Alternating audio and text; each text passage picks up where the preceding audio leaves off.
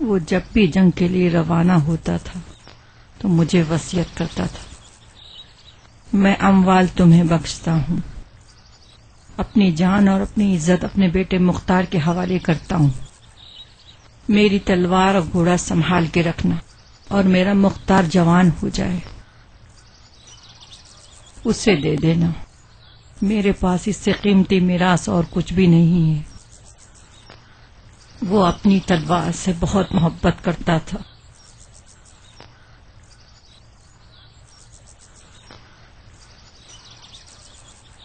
मैंने इस कीमती मीरास के ज़रिए से ही अपनी इज़्ज़त बनाई है।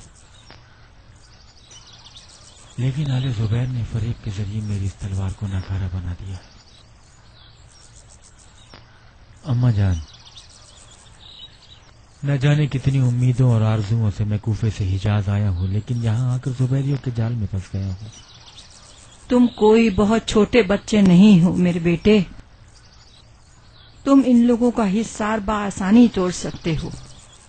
जुबैर के बेटों ने अगर तुम्हें जाल में फंसा लिया है तो ठीक है तुम भी होशियारी करो। कैसे करूँ माँ? वो कसा से खून हुसैन के बहाने हुकूमत चाहता है। और हिजाज के लोग उसके इस बड़े झूठ को सच समझते हैं। उसे कैसे रुसवा करूँ? तुम अपने रवैये में नरमी लाओ। ये तुमने सही काम नहीं किया है कि जुबैरियों से। बैत के बदले इराक की हुकूमत तलब की है। क्या कसा से खून हुसैन का मतलब? इराक की हुकूमत है। खुदा जानता है मेरी नीयत ये नहीं है।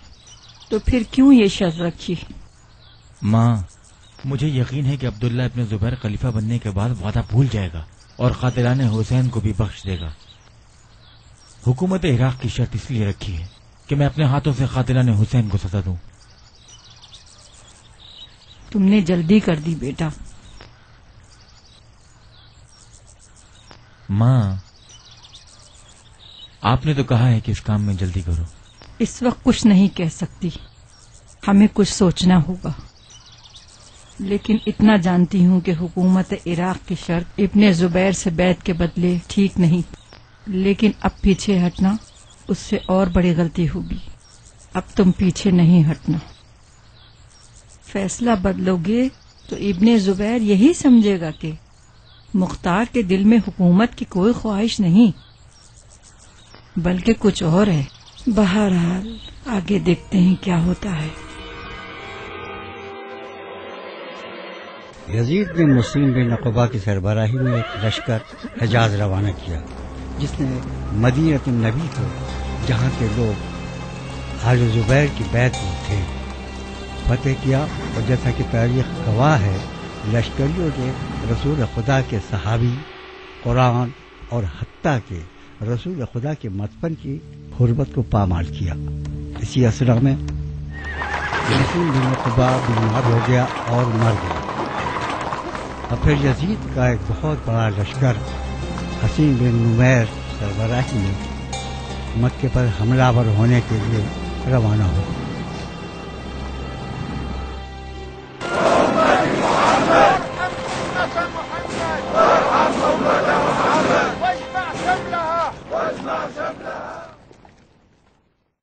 इस पाक मकाम की जियारत करने वालों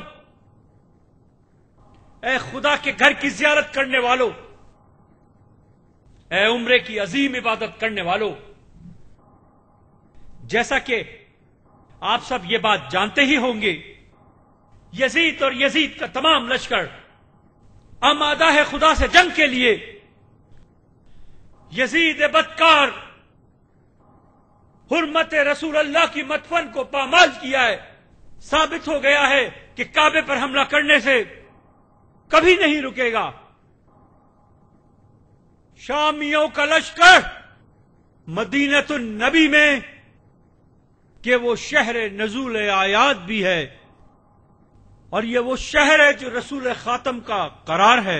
वहाँ हमला किया और मुसलमानों का खून बहाया और उनके मालो असबाब को भी नुकसान पहुँचाया।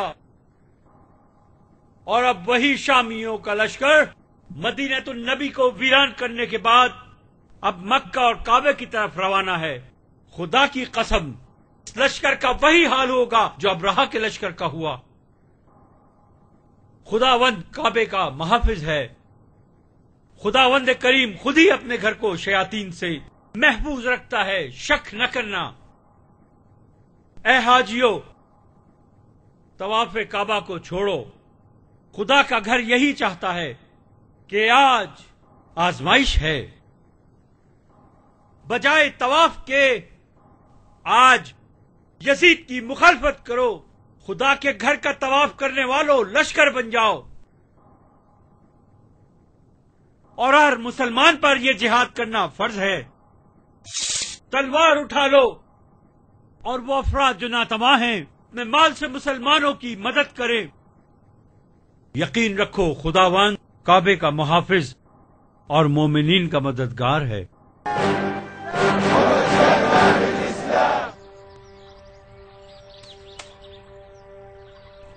वाह वाह। बेहतरीन अंगूर का बाग है।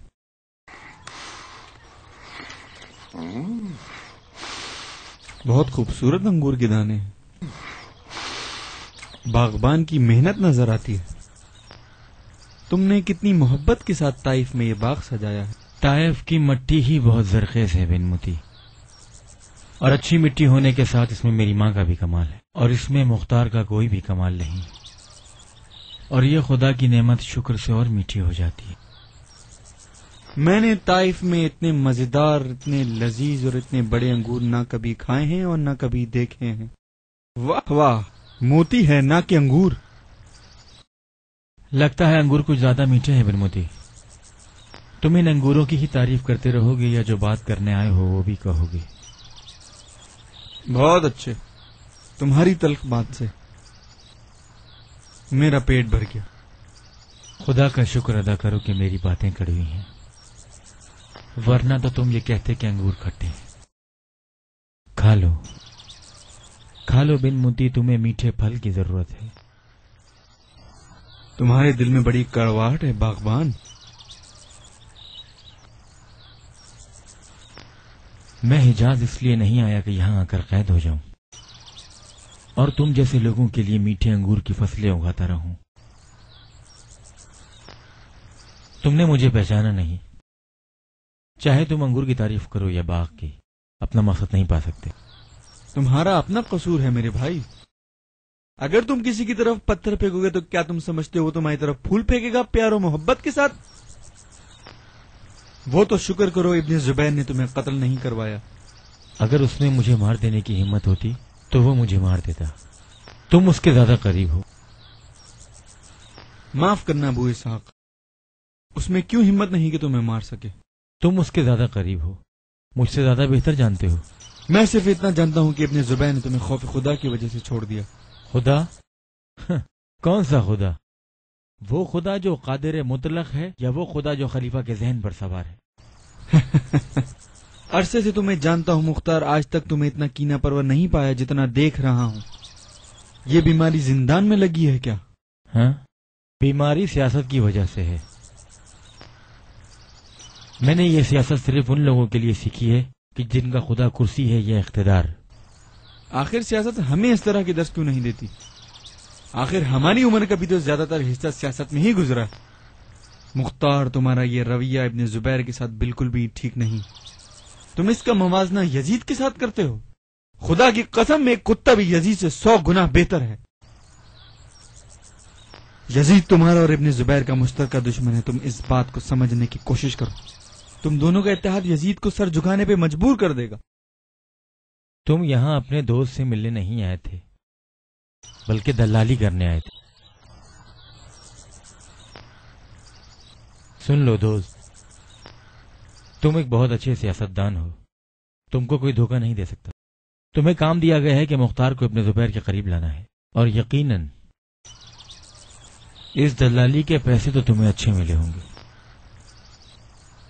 मगर मैं सिर्फ़ एक शर्त पर इब्ने जुबैर से बैत करूँगा। उसे इराक की हुकूमत मुझे देनी होगी।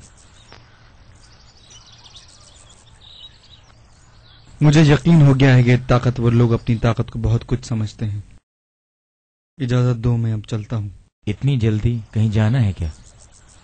यकीनन तुमने सुना होगा कि यजीद काबा पर हमला करने वाला है। इससे बड़ी और क्या फजीलत होगी खुदा और उसके दीन के दुश्मन के खिलाफ? जहाद करते हुए शहीद हो जाऊँ। तुम क्या करोगे? मैं मैं सोचता हूँ कि इस जगह पर एक आलीशान सी इमारत तामीर करूँ, जिसके सहन में एक खूबसूरत फवारा हो। वो वहाँ बहुत सी मुर्गियाँ, इधर बहुत सी बकरियाँ, और यहाँ अपने घर वालों के साथ ज़िंदगी सुकून से गुजारूं। बस तो तुम्हारा ये ख्याल भी बुरा नहीं। नया ओहदा मुबारक हो, मुख्तार। तो फिर कुछ बूढ़े लोग भी जमा करो और ताइफ में उन बूढ़े लोगों के खलीफा बन जाओ। ये सब बातें रहने दो, मुख्तार। मैं जानता हूँ तुम शमशीर उठाने के लिए कितने बेताब हो। यह ख्वाहिश तुम्हारी जब ही पूरी होगी, जब तुम अब्दुल्ला इब्न जुबैर के हाथ पे बैत कर लोगे। उठो और मक्के जाओ, मुख्तार। बैत करो और यजीद को मार दो। हुकूमत इराक की शर्त तुम्हारी ज़िंदगी भर के अजर को जाया कर देगी।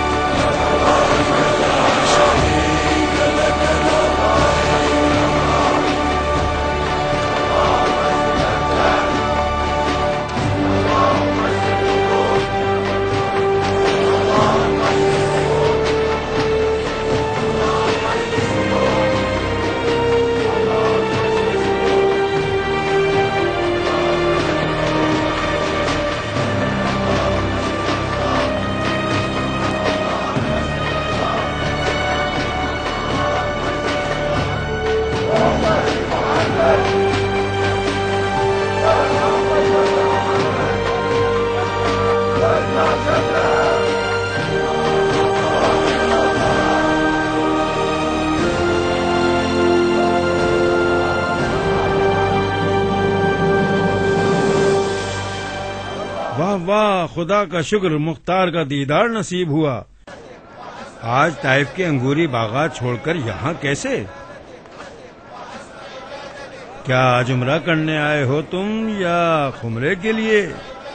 तुम अजीब जानवर हो इब्न सहल। उम्र से क्या मुराद है?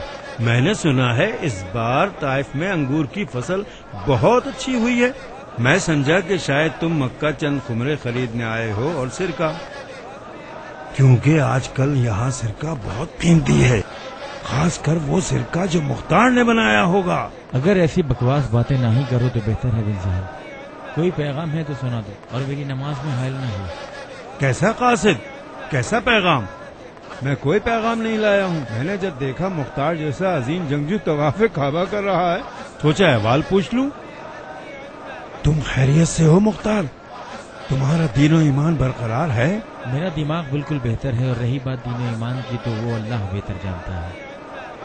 बेशक मुनकिर पे लानत। खुदा बंदे सुबहान रहमान और रहीम है। अगर बंदा अच्छा हो और ईमानदार हो।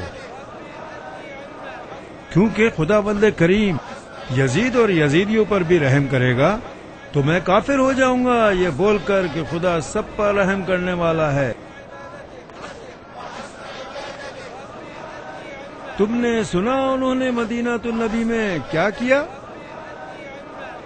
उन्होंने इस कदर शहर पैम्बर की बेहरमती की है कि तमाम मुसलमान साल साल भी इस गम को नहीं भुला सकते। बहुत शर्म की बात है। वो कौन सा ऐसा मुसलमान है जो ये खबर सुनकर रोया नहीं होगा? लेकिन अफसोस के कुछ ऐसे मुसलमान भी हैं जो अपनी तिजारत और ज़रात में लगे हुए हैं। शुक्र करो कि तुम मस्जिदुल हराम में खड़े हो। अगर यहाँ ना होते तो इस बात पर तुम्हारे दांत तोड़ देता। ये सब तो मुझसे कह रहे हैं खबीस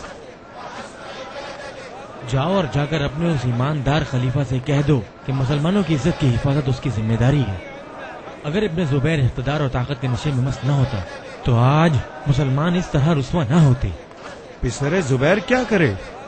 जब मुसलमानों के बड़े बड़े जंगजू घर में बैठे हुए हैं और सिर्फ़ तमाशाई बनकर तमाशा देख रहे हैं, जिसकी मिसाल तुम खुद हो, मुख्तार। आखिर तुम अपनी तलवार क्यों नहीं